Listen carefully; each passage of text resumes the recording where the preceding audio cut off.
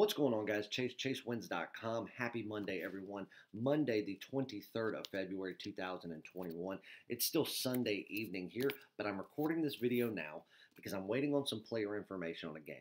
Line's already out, but I'm waiting to hear about two players in particular.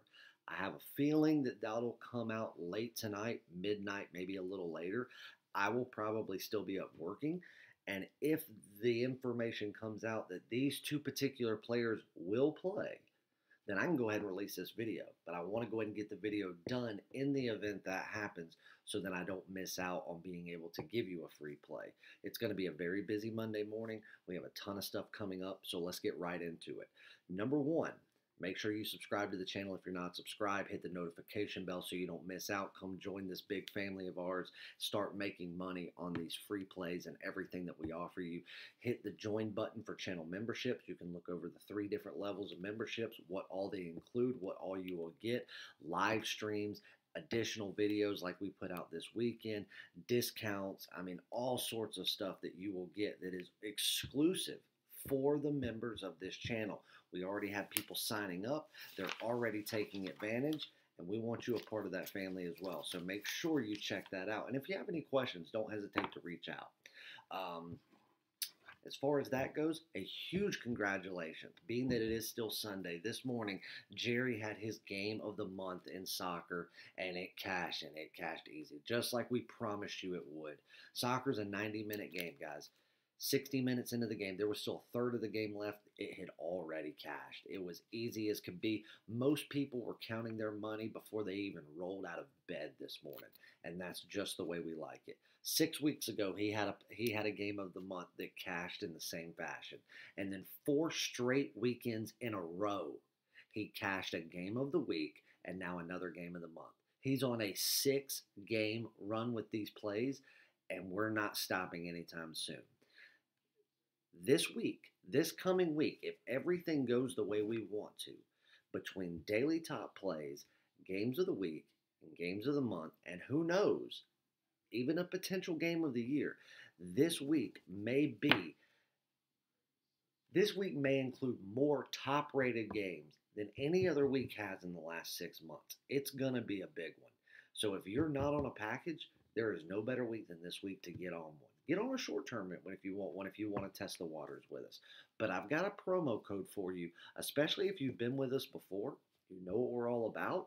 This can give you some really good value, a good bang for your buck, and allow you to save some money on something that you know you already want. If you use the coupon code Monday, yep, just the word Monday, M O N D A Y, all lowercase, you can get 20% off Jerry's soccer year pass, which is 12 months, 365 days, 52 weeks, whatever way you want to look at it, of every single premium and daily top play he has in the sport of soccer in every league that he covers, and there's a lot of them. It's usually $7.99 for this year package. You can get 20% off by using that coupon code. Or the other package that you can get 20% off on is one of the most popular ones the 30 day all access pass. Everybody wants to be a one year all access member. Everybody wants to be able to get the games of the week and games of the month without having to buy them separately. Well, the only way you can do that is to be an all access member. You can get the 30 day all access pass, which includes everything every sport NASCAR, horse racing, soccer, all of my sports, every premium play, every daily top play, and yes, every game of the week, game of the month, and game of the year. Absolutely free included in there. It's $4.99 for the month, guys. You would spend that just on buying games of the week and month in that 30 day span. You would be spending $99 a week just to get the premium and daily top plays, and you wouldn't even be getting NASCAR. $499 is the price for that package. You can get 20% off that. You can save yourself 100 bucks by using the coupon code Monday at checkout. When you go to checkout at the purchase page, you choose one of those two packages, the soccer year pass or the 30-day all access pass. Once it once it takes you to the, the uh, credit card page, you'll see a spot that says coupon code. Type in the word Monday in all lowercase, and it will save you 20% on either one of those two packages. That's your Monday promo. Also, everybody knows what we do in horse racing. I gave out two horse racing picks on Twitter over the weekend from our horse racing expert. One of those, both of those race winners cashed. One of them was plus 250 odds, easy winners. His packages start back first week of March. You can get that package now for 50% off. We charge $999. That gives you every single horse racing pick. It doesn't matter how high or low rated it is for every one that we give out in 2021. Every single one from now until we're done for the year. We charge $999 for the package. You can get it for 499 this week only. It's already available on the site. And guess what? First week of March it begins. So don't miss out on that. Um, and I think that's it as far as the promos go for Monday. So anyway, congratulations to everyone who cashed in on Jerry's packet or Jerry's game of the month unbelievable. So many people. He had a bunch of people with him in Vegas doing it. One guy put up a whop of money on that play. I mean, for some people, that would be life changing money. And he cashed in with absolute ease. Ease. So, congrats to everybody that was with Jerry. Had a good time over the weekend. He will be back in the office on Tuesday. He's traveling on Monday. So, but he will have plays, or at least he should have plays if anything meets the criteria. So anyway, he's looking at another big play for this coming week. I've got two possible huge plays coming this week. One in basketball, one in hockey. So we'll see what happens um, and what the lines come out there with that. I've got two games still ongoing one with Iowa and Penn State, and then I also have one involving OKC on the money line minus 130 over the Cleveland Cavaliers. We had a little typo. One of the office members typed that game wrong. The bet itself didn't change. We just typed one of the team names wrong. That was corrected. And about an hour before the game started, we actually sent out the email to because some people were like, "Hey, the bet seems right, but we think you have a team name wrong." It was a clerical error by one of the office staff. We did apologize. I am sorry. It's a human error, guys. We're all human. We make mistakes, but it was fixed. Right now, that game is ongoing. OKC is up by double digits, so all they have to do is close out that game, and if they win, that'll be another ticket cash for us. We cashed in on Drake. We did drop UNLV and um, so we still got some games ongoing. We'll see what happens, and we can um, you can watch those games for yourself. Check the recap, or we can re go over them on Tuesday's video. But guys, thank you so much for uh, cashing in that big play with us. I know it meant so much to a lot of you. Some of you were expressing your frustrations about how other services had you down so many units for the week, and that brought you back to profit, or it brought you back to even, or it put a huge dent in what they had you down. So I'm glad you got to do it. And guys, instead of buying these games of the week and games of the month over and over, get on an all access pass. Get on one for 30 days, and at the end of that, you'll be able to use your profit to become a one year all access member. And if anybody wants to upgrade to a one year all access membership, send me an email, chase at chasewins.com.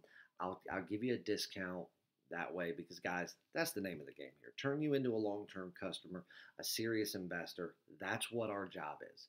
Our job is to not nickel and dime you every week. So just do yourself a favor, save some money, and be a long term customer.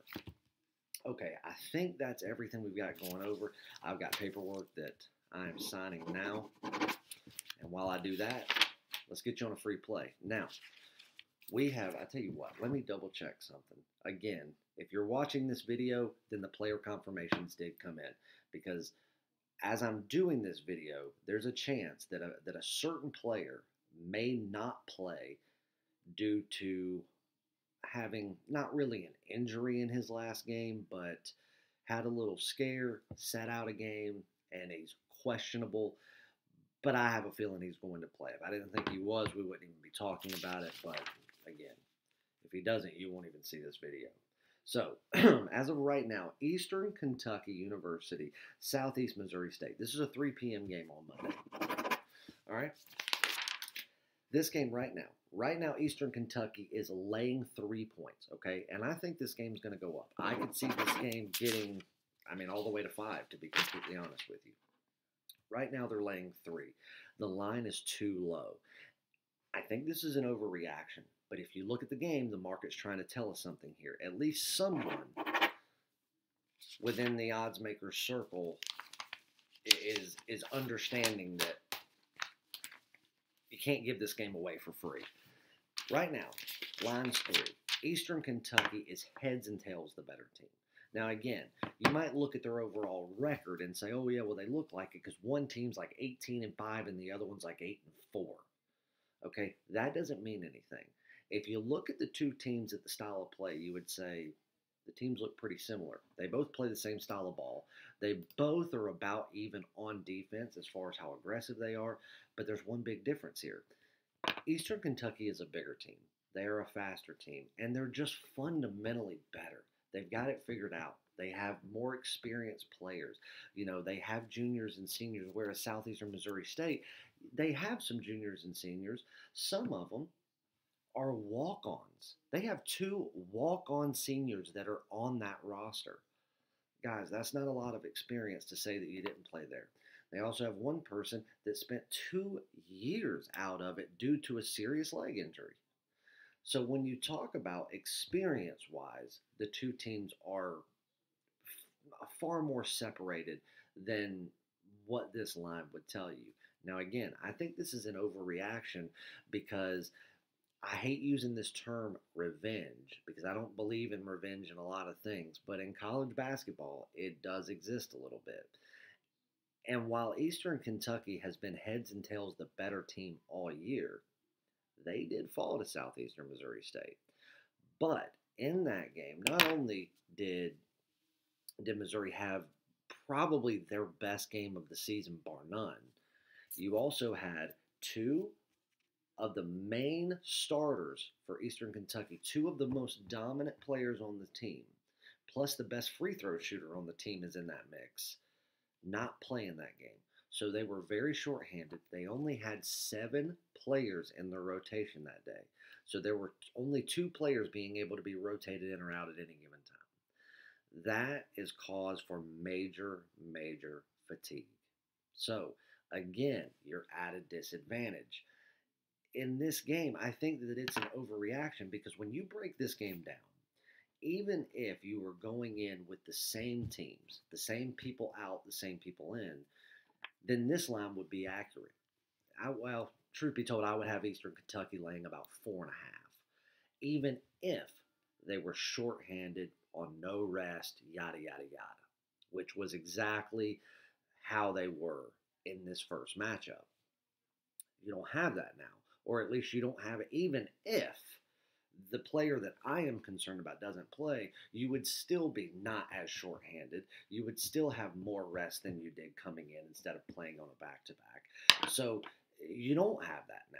So why is the line only four and a half? It's an overreaction. Or why is the line only three and it should be four and a half in that? It's an overreaction. If these teams come in at full strength, this line should be nine all day long. This is way off, way off. I'm not saying they couldn't get beat again. I mean, obviously, Southeastern Missouri State, if anybody's got the cheat code to it, they do. But part of that cheat code came with they got to play a short-handed team.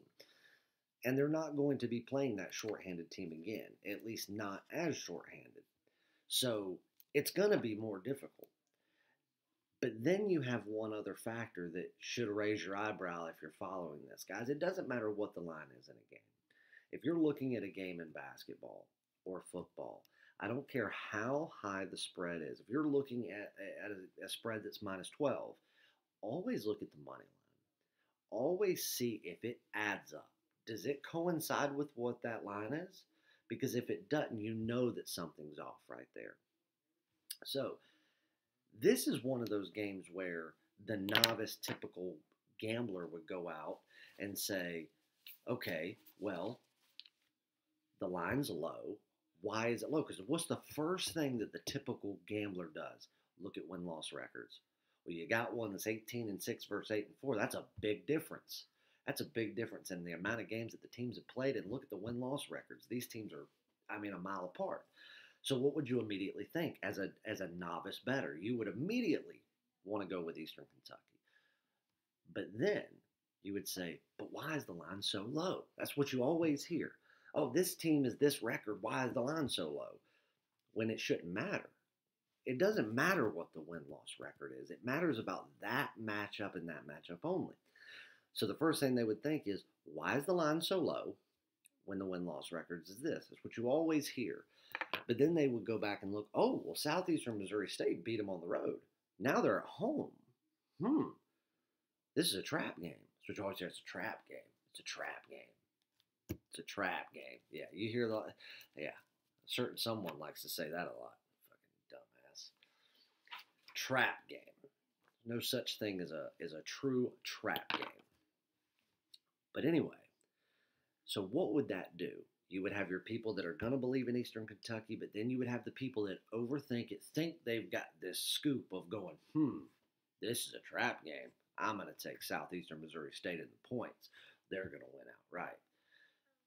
But in a line of three, the typical money line should be anywhere from a buck 30 to at most a dollar 60 and that dollar 60 is stretching it. And usually you have that dollar 60 when you're talking about teams like a duke north carolina kentucky ucla playing a conference opponent but far less superior. It would be like most years north carolina or duke playing wake something like that. That way you might get a high money line with a lower spread but 160 is going to be your max this money line, the spread's three. The money line is a dollar ninety-five. Red flag anyone? That is because they're using this line to their advantage of saying, well, they've already been beat by Southeastern Missouri. They still might be shorthanded, maybe, we don't know. You're almost being pushed in the direction of Southeastern Missouri State but the line's so low that you might want to go back the other way. But then that line for the game for the for the novice bettor is going to make them want to go right back to the other side because they're going to say the line doesn't make sense. All you got to do is look at the money line because the money line being at 195 gives you typically a spread of about five and a half, typically.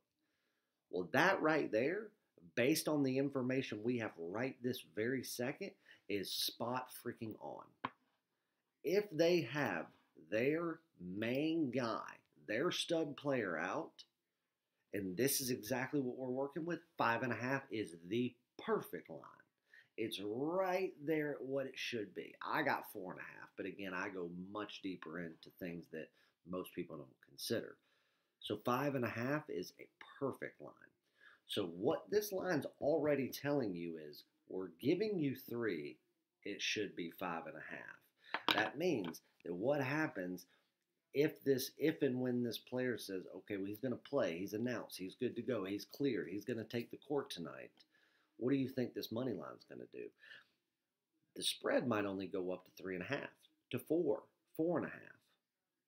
That money line's going to skyrocket to 250, just like that. Because you're going to have those people play it. They want people to say, okay, for the people that think that Southeastern Missouri can pull the upset, they want to get ballsy, they want to go money line. What's that going to do? It's not going to give them much value.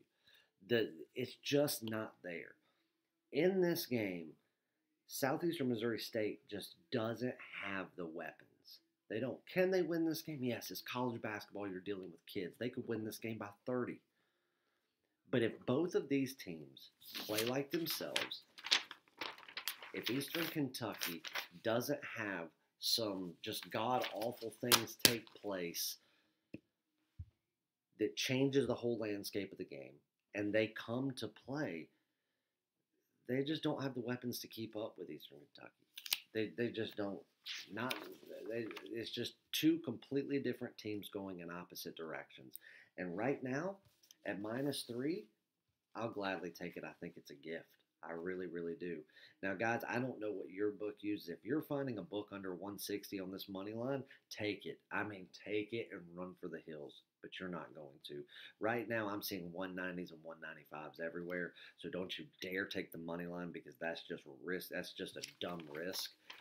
Lay the three points, and like I said, it's going to have to be Eastern Kentucky beating themselves on this one. I've been wrong before. I could easily be wrong again, but I'm not wrong a lot. I'm going to take Eastern Kentucky. I'm going to take them with a smile on my face without thinking twice about it. I've done the numbers. The numbers just don't add up.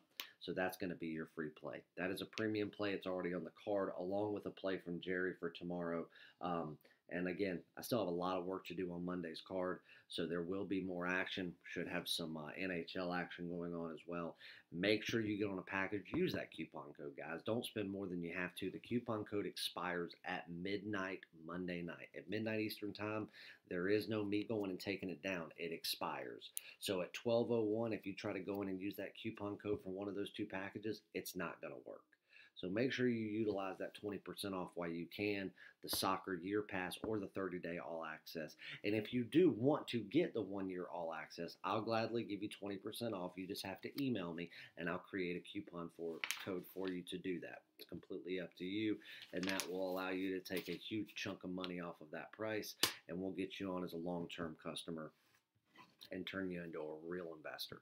Guys, I love you. Thank you so much for another week with us. I can't wait to share another one with you. We're going to have some big plays, some big action, and make sure you join that join the membership for the YouTube channel and you'll be seeing a lot of cool stuff this week. I love you guys and I'll see you back for another one on Tuesday.